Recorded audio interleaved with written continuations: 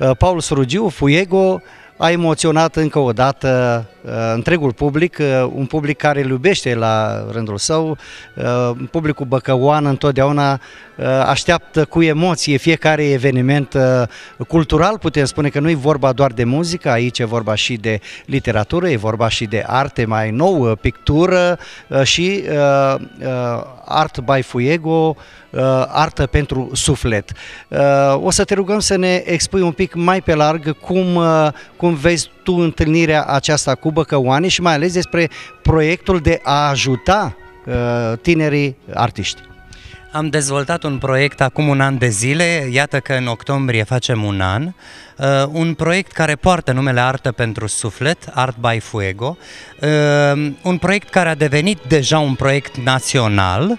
Vă mărturisesc că a fost mare bucuria să văd că oamenii sunt deschiși spre arta plastică și la București, la Gold Art, în casa familiei Gilduș, dar și la Mare, la Mamaia, unde mi-am expus picturile în luna august. Ne-am gândit să dezvoltăm acest proiect și odată pe lună să mergem într-un oraș mare din România, așa cum s-a întâmplat în seara aceasta la Bacău. M-am bucurat să văd o sală plină de spectatori și oameni de cultură care au venit în sala Centrului de Afaceri și Expoziții Bacău să fie alături de mine și de uh, mari artiști ai neamului nostru românesc. Am avut invitați pe Jol Chereștei, pe Stella Enache, pe academicianul Nicolae Dabija sau pe uh, poetul și scriitorul Lucia Olaru Nenati, unul dintre cei mai mari eminescologi români. M-am bucurat să văd că oamenii au răspuns pozitiv invitației mele, asta și datorită familiei uh, uh, doamnei doctor Liliana Voroneanu, care a organizat cu maestrie și cu cinste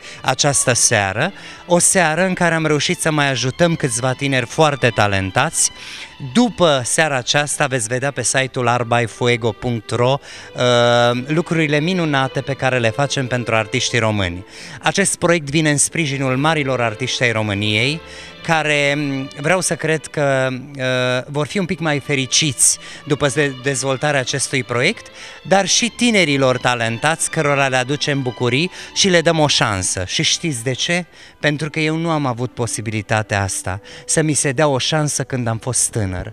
Eu am fost o persoană foarte modestă, născut din părinți muncitori, modești, care nu au avut posibilități financiare să mă țină nici măcar în facultate la București.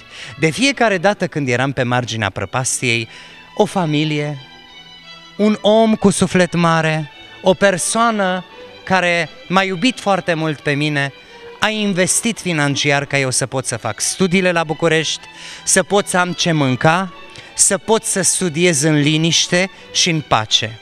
Asta am vrut eu să ofer cu proiectul acesta tinerilor talentați. Un drum mai bun și mai sigur în viață. Pentru tinerii talentați care pictează, le vom achiziționa materiale, să poată să lucreze în continuare. Pentru tinerii artiști care interpretează și care au voci frumoase, să-i susținem pentru a merge la concursuri, la festivaluri. Am dat deja atâtea diplome pentru premii la festivalurile mari din țară, pe care le-am oferit tinerilor, care realmente ne vor reprezenta cu cinste țara și neamul românesc. Asta fac eu, ajut oameni din vânzarea picturilor mele și în special artiști. Proiectul este dedicat artiștilor. Mă bucur pentru că ați venit la Bacău, Mâine vom fi la Iași în Palatul Rosnovanu, unde premiem mari valori ale culturii eșene, printre care Dan Hatmanu, marele pictor contemporan cu noi, care în luna octombrie face 90 de ani și îi spunem la mulți ani și îl iubim. Îl vom premia pe poetul și scriitorul Emil Brumaru, vom premia criticul de artă Valentin Ciucă, dar și pe actorul Dionisie Vitcu. Uh, proiectul acesta, pe lângă faptul că ajută și premiază și face lucruri frumoase pentru a demonstra că neamul acesta nu are numai apariții mediocre și subcultură. Neamul acesta are valori, are artiști valoroși în toate domeniile de artă, dar are și oameni spectaculoși, așa cum s-a întâmplat în seara aceasta cu premiul pe care l-am oferit doamnei Doina Melinte pentru întreaga activitate în sportul și cultura românească. A fost o seară, colega mea dacă dorește să pună o întrebare.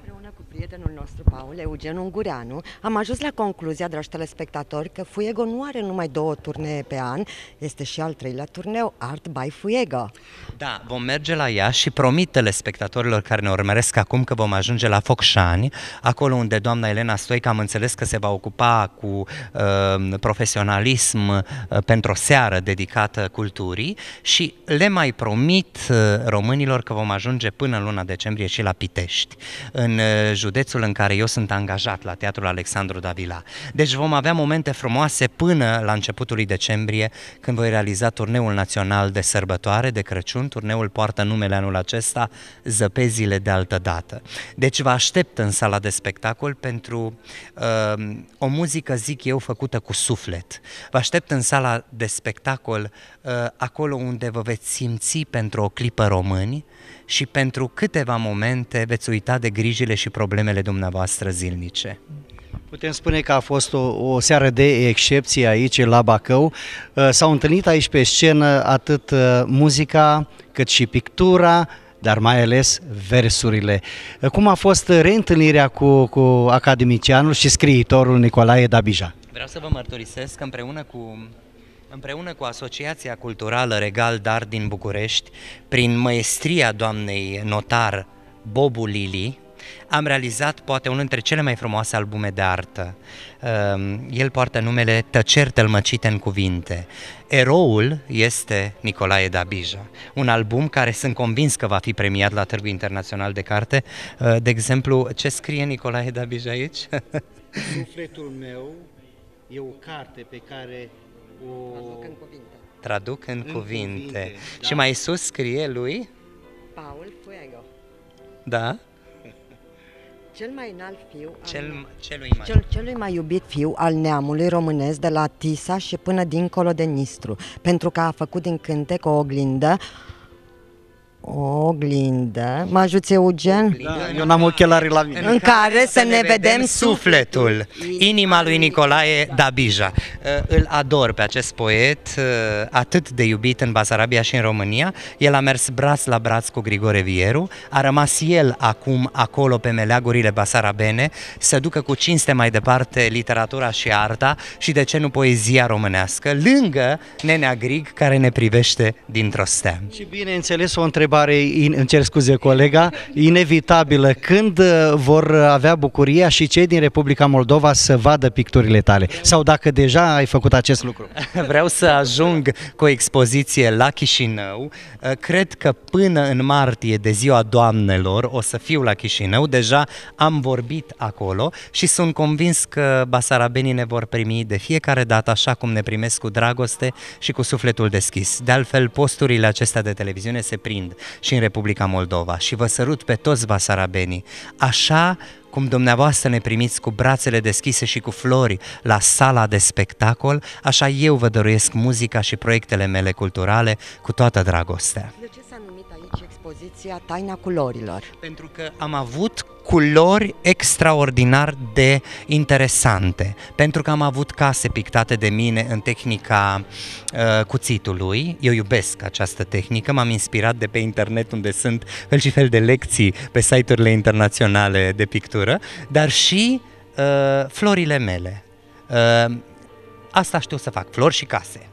Nu cred că aș Sigur putea... că ne mai pregătești tu o surpriză. Nu, nu cred, o să rămân la flori și case pentru că asta știu să fac. Sunt un autodidact, nu sunt un profesionist, am spus lucrul acesta, dar fac lucruri, zic eu, frumoase. Am hotărât să-mi arăt picturile în public în momentul în care am cunoscut-o pe doamna Doina Păuleanu, unul dintre cei mai mari uh, oameni de artă pe care eu îi cunosc și având încredere în ea, uh, mi-a spus, Paul, trebuie să faci un proiect, pentru că tu faci niște lucruri frumoase. Moacir.